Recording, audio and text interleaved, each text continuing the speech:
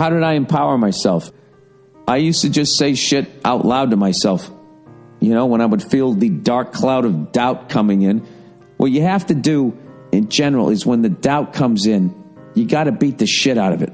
The biggest thing is that you're conscious of the self doubt. So once you're conscious of it, you can then address it. It's when you're really young and you're not conscious of it, and that thought comes in, and then you start dwelling on it, and then it just washes over your whole body, and you can literally have a fucking panic attack. What you have to do, I did anyways, is, um, you know, you try to cancel it out with the positive thought. I know this sounds like hokey shit, but I used to just say shit out loud. And it started off with like, I would just be walking down the street, you know, walking by other people, and I would just randomly be, just be like, yeah, fuck that, fuck that.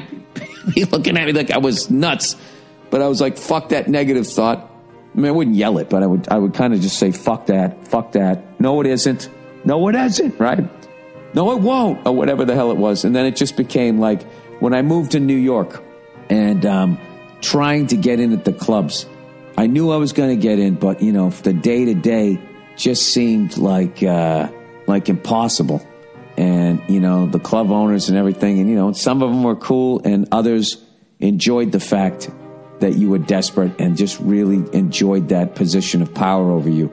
And uh, I would walk out of the club dejected. You know, I was afraid. You know, am I going to run out of money? I don't have a job right now. I'm doing these driving back to Massachusetts to fucking feature in Dick Doherty's rooms. That was not barely covering, you know, living in New York. Every time you stepped outside, you blew 20 bucks, 30 bucks, you know?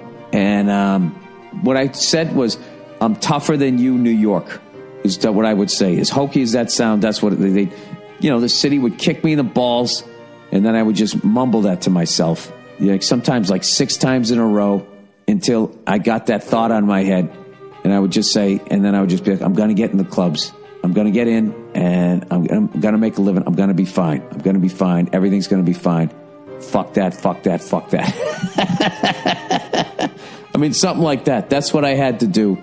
So, what I would say is you just baby step your way. Like for me, making it as a comedian was like a 20 year fucking 15, 20 year process. I was obviously I was not the overnight. I didn't have the hook. I didn't have any of that fucking shit. And I just basically every day, you know, was fucking hacking at the tree until it came down. You know, you just don't quit. You just, that's it. You just don't quit. You don't give it a negative thought. And every day you just fucking take a few steps towards it. And then one day you just wake up and you're where you wanted to be. And you're like, how the fuck did that happen?